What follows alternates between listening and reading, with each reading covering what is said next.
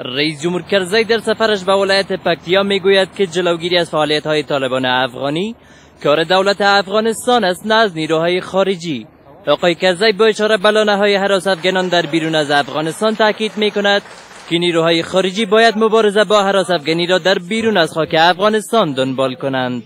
د نړیوالو سره هلته ملګري یو چې دوی د تروریزم په خلاف هلته جنګ وکړي چې هلته تروریست ناست دی زمونږ په ولس کې دا نسته زمونږ په ولس کې نه القاعده سته نه بله بلا سته که ستا خو غږ وکړي ستا نسته نو دا جنګ زموږ په ولس کې معنا نه لري زمونږ په کلي کې معنا نه لري د امریکې د حکومت سره مې په دې باب مفصل مجلس شروع کړ رئیس جمهور کرزی بار دیگر از مخالفان مسلح میخواهد تا به روند سال بپیوندند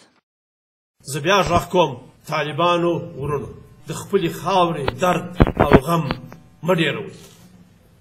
بلکې خوشحاله یې کړئ بلکې کراره یې کړئ او شورا خبرو ته تیاره ده څه ژمنې چې دوی غواړي هغه به شورا ورسره وکړي چې دا خاوره پر کراره شي حقای کرزی بی سوادی را سر آغاز بدبختی ها می داند و از باشندگان این ولایت می خواهد تا برای آموزش تلاش ورزند. هلته به دا خیر لا ډیر شي چې دوی زموږ سره یو ځای، زموږ سره په مرسته دې خاورې ته سوله او امن راولي.